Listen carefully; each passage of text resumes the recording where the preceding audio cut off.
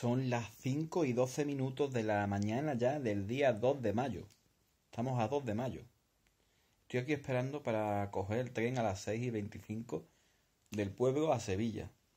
Y ya en Sevilla, lo primero que voy a hacer cuando llegue a Sevilla va a ser ir a desayunar tranquilito. Y para correo, que está en la, en la avenida de Constitución, en la oficina donde tengo que recoger el paquete de correo del Citypack, el servicio este que hay de buzones que te guarda los paquetes con una cosa que he conseguido de, de Amazon, hacerle una review y coger y haré el vídeo cuando pueda, lo subiré cuando pueda. Luego eh, iré a almorzar, a tomarme un litrito o lo que sea, tranquilito. Y luego más tarde, a las 7, que es cuando abre, hasta las, hasta las 9 o las 8 y media, no recuerdo exactamente el horario, ir a la Asociación de Amigos del Camino de Santiago, de Sevilla, Vía de la Plata, que está en la calle Castilla. Y una vez allí, pues iré a que me sellen la credencial. Y ya esta noche duermo en Sevilla. Y ya el día 3 por la mañana, el día 3 de mayo, mañana, por la mañana a primera hora, salgo andando. Ya, el próximo pueblo es Cama. El siguiente es Santiponce. Y el otro ya es Guillena. Y esa sería mi, primera etapa. ¿Vale? Porque si. Es que yo quiero ir a la Asociación de Amigos del Camino de Santiago. Pero como abren por la tarde, ya digo, quería salir después por la tarde andando para que se me haga de noche. Digo, no, yo ya salgo al día siguiente tranquilito, descansado. Porque es que esta noche, por ejemplo, no puedo dormir nada. Así que ya hoy cogeré cansancio en Sevilla, me iré a vender unos mecheritos por la calle, a darme una vueltecita. Con lo que venda los mecheritos me compraré un litrito lo que, o lo que pille, un bocadillo, lo que sea, o ya veré yo lo que hago. Y, y cogeré eso, y después iré a la asociación. Para estar tranquilito, yo no tengo prisa. Y también quería enseñaros en este vídeo, perdonadme, pero es que estaba así, estoy haciendo un poco de la garganta cogido. Eh, quería enseñaros en este vídeo que cuando estuve en Cádiz y salí de Cádiz, días antes, allí compré la credencial del Camino de Santiago. En la Asociación de Amigos del Camino de Santiago de Cádiz. Porque yo, ¿os acordáis que yo salí de Cádiz andando hacia Sevilla el día 14?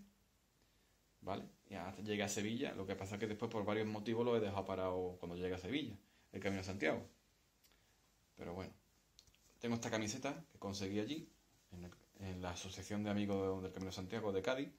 Fijaos, tiene aquí la Catedral de Cádiz y la Concha dibujada, la Vieira, Asociación Jacobea, Asociación Gaditana Jacobea, ¿Lo habéis visto? Así se llama. Os pondré un enlace a la Asociación de Amigos del Camino de Santiago de Cádiz para que lo veáis. Es camiseta transpirable. Está buena, es buena. Y nada, para que veáis. Qué bonita es. Está chula, ¿eh? Color azul y amarillo. Tiene aquí una flecha en el, en el lado. Por la espalda no tiene nada. Eh, por la espalda es lisa. Eh, tiene la flecha en, el en la manga izquierda. Chulísima. Estoy yo contento.